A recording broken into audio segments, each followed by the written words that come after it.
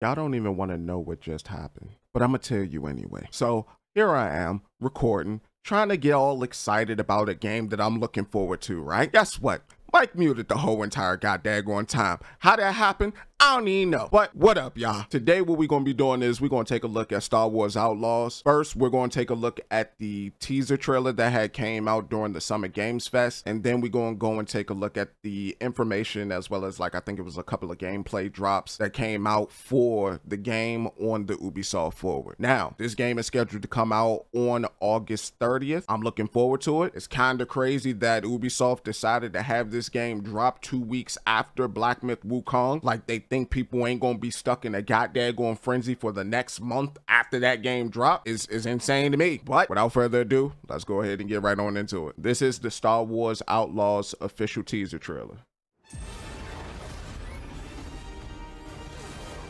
Dang, stab that man right in the back.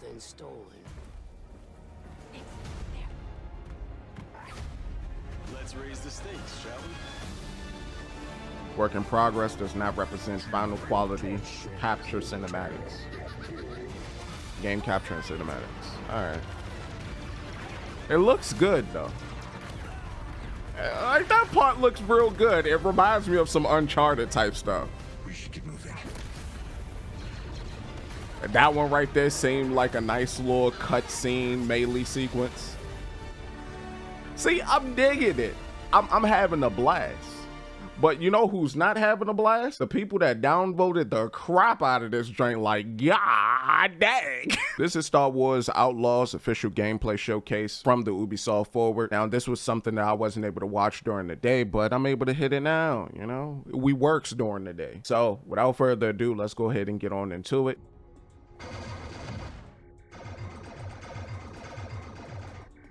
Hey, new record. What kind of arcade game is that? At the top, where it should be. Trash. Let's go, Nix. Let me stop. Hello everyone, I'm Matthias Karlsson, game director at Massive Entertainment. What up, Matthias? Today, we'll show you a different type of adventure. And Sound like a game director name, too. systems, we will come across many opportunities for a scoundrel. Squabbling in the back.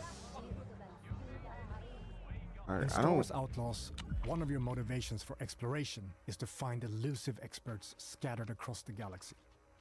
Okay. These experts will help Kay pick up new skills to survive in the underworld.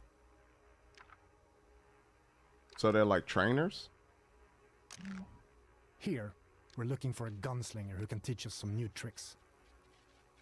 Our Okay. intel points to the Mos Eisley Cantina on Tatooine. So let's head back to our ship. Again, We're your picking up in Accra Station, your game is coming out August a 30th. remnant of the Clone Wars. It used to be Please do not watch Dogs now acts as a trade hub for illegal For contraband. those of you that were around during that time, it's you know what I great mean. place to resupply. But then again, Watch Dogs wasn't a bad game. It just Merchants are often It's like the OG Fable. It wasn't what was a promised. special deal if you're in good standing with them. This kind of business attracts all kinds of shipjackers, contract brokers, and corrupt officials. Need your name cleared from the wanted list. it's like Ubisoft as a company as a whole has become Peter Peter Your ship, the Trailblazer, is a refined EML 850, the last of its kind. On board, you'll find everything you need to finalize your preparations. Okay. Like they got legendary a legendary name, but a terrible track record. Hey, Andy. And some legendary games made. Let's not get it twisted.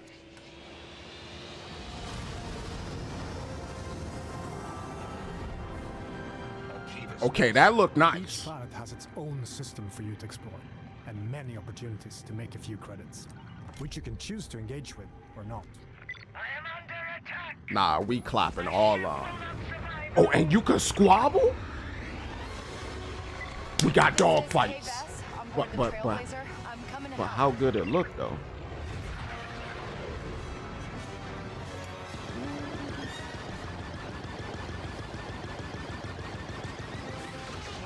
Turret activated, Kay.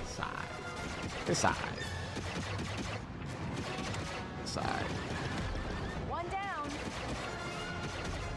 I don't know why. Part of me felt like it's been Uberfied.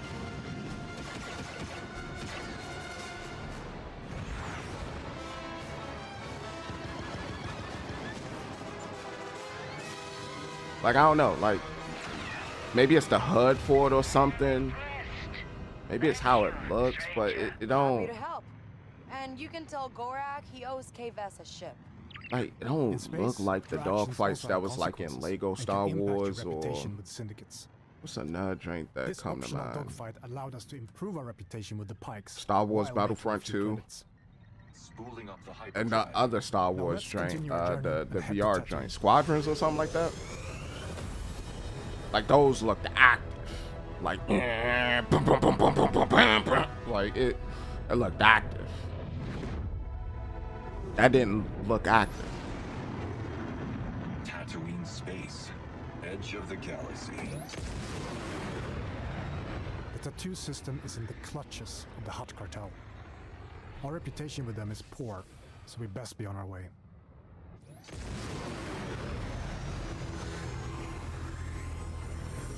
I don't even know what you best be on your way from.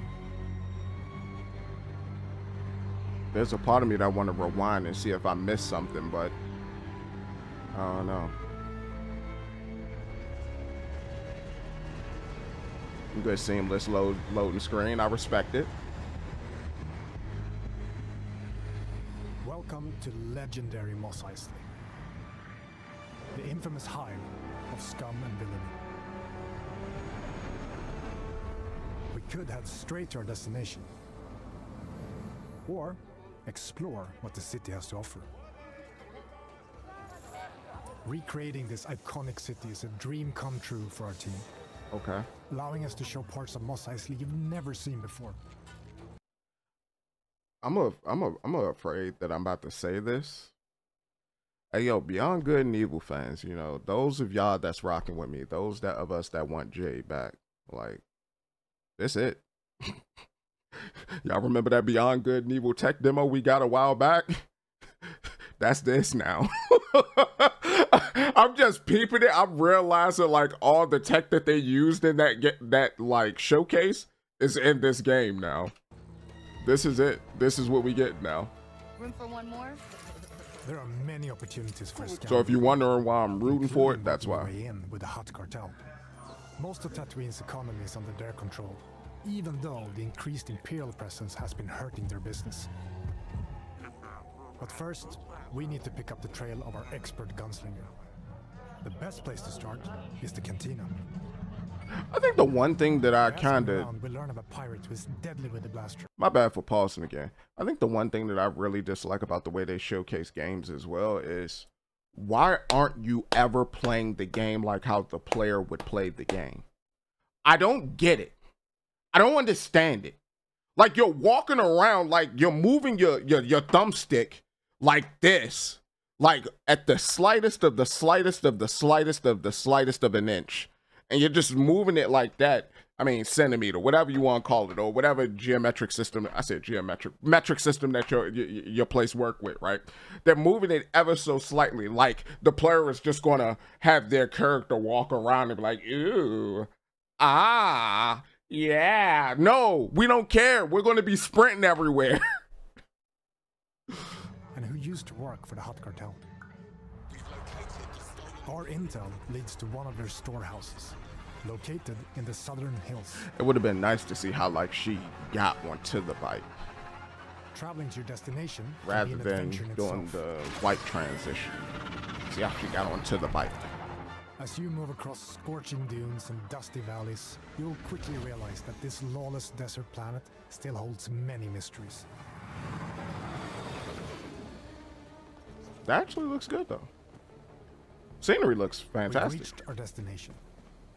We need to locate our storehouse and find our way into this heavily guarded fortress without triggering the alarm. I don't know why there's a part of me that's it's believing and it's not believing as well because we seen we seen them use this mechanic before. Like they've used this mechanic in uh Tom Clancy's Ghost Recon Wildlands and Tom Clancy's Ghost Recon Break Breakpoint, I think.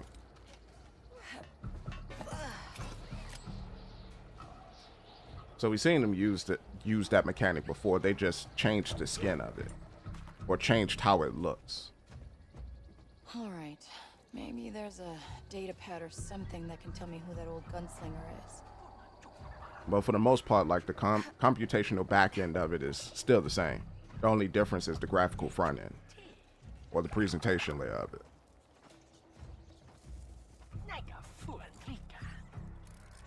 Nix, attack. Okay, so I was right. That's a quick time event. That actually looked pretty good. That was solid. Solid animation. I, I'm, I'm digging it. Okay. Okay, what else? Nix, do you sense So I'm gonna let you know this now. I'm not moving like this. I'm shooting everything.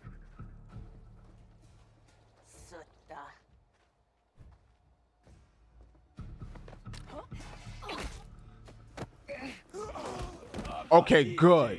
Good. Thank you. Oh, okay, never mind. You're a bum. Easy. I was about to say that's good. The AI actually can hear action that's that's going on behind them. They won't just stay in front of their their cone of view. here.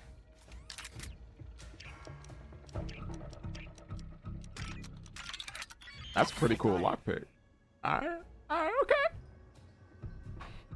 Wait, Quint. Nice That little sheriff lockpick mini game. I don't think I've seen that before. Okay, okay. I should talk to her.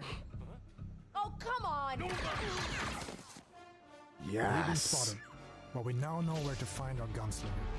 Let's get out of here. Nah, squabble. Squabble. I like that. I like that. I like that. I, I, I, don't- I mean, I know he a droid, but some kind of feedback? That's crazy how she shot that thing in front of her and that bullet just ricocheted back into her body. Oh, good kick. You do not take damage like that. I will say I'm a fan of the HUD. It seems very simplistic but yet stylish at the same time.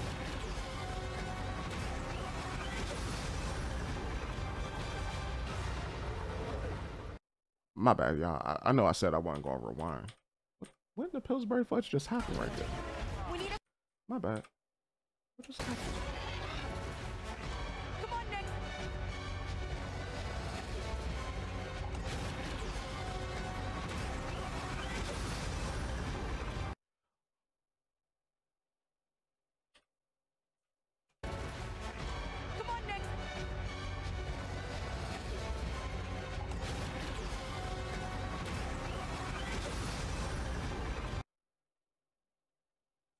What it is. Something seemed off about that to me. Cause like she called the bike, the bike was right there, but she was also being chased by other people. But it didn't seem like a cutscene. But then when she, soon as she got on the bike, it transitioned to a cutscene to let her out. So then I think my my my thought process would be, well, why not call the bike as soon as you spot the people, or as soon as the people spot you and you shooting at them, you call the bike, the bike comes in, you take the bike, and then you take off. So I don't know. I don't know. That kind of feels staged to me. Like that, the whole entire sequence, like they created this specifically for this demo. I don't know how I feel about that.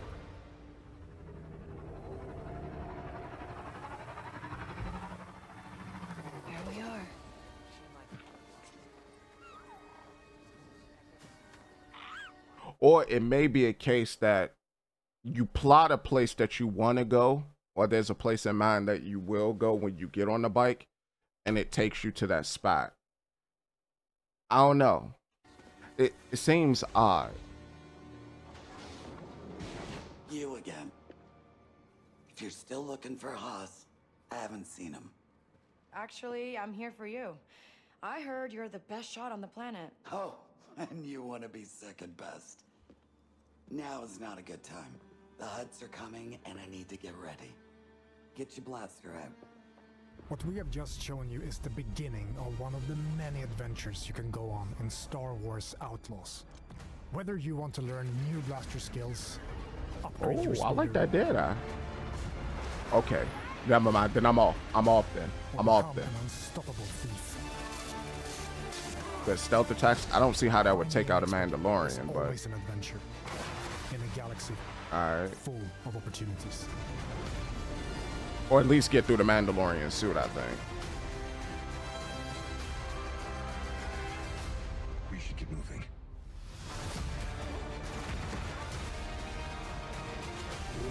I'm keeping hope alive. I'm keeping hope alive. I, am not going to be a naysayer. I'm, I'm I'm excited. I'm excited. I'm keeping hope alive. There was some iffy things there that that kind of almost made me go. "Mm, I don't know about that Ubisoft, but I'm gonna keep hope alive. Y'all really not feeling this game at all, huh? Well, we're on the Star Wars Outlaws official game overview trailer. Let's see what this is about.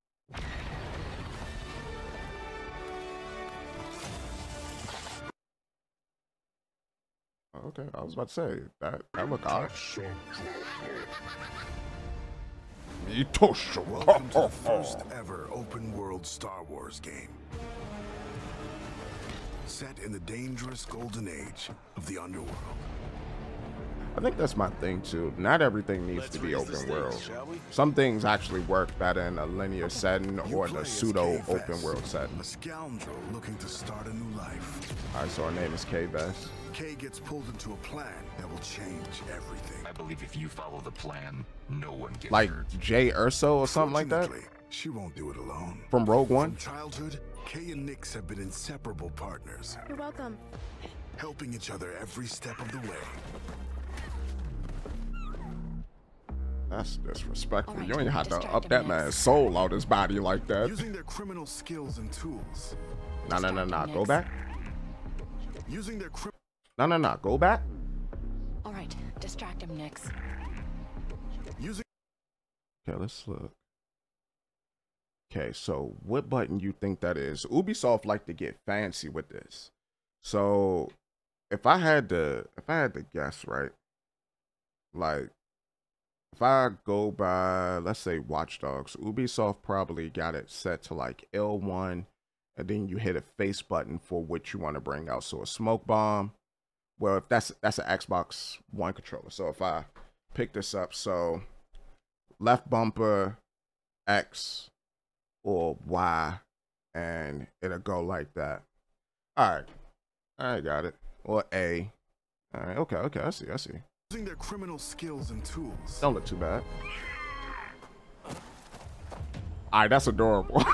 you gonna lie. That's adorable. Will have to constantly adapt to every scenario. Nix, you want to drop that for played dead. That is the most useful ally I've ever seen in a video game. That's crazy. Whoa. Way more useful than Cha Cha and Karamba. You'll get me out of here. As your versatility grows, gain access to new skills and more lucrative contracts. There she is. Look fun. Look fun. A friend needs a little something stolen. And in But so far, I haven't really seen anything like really try to bust let at walk her. out of here. I'm gonna finish it. Shame. And reputation is everything. Where is he? The bigger the risk, the bigger the reward, and more attention you'll receive from some of the most notorious syndicates of the galaxy. And how did you think it was going to end? Tell the governor the payments will not increase. Don't worry, I I, up I to peeped I where your peeped what just happened right there.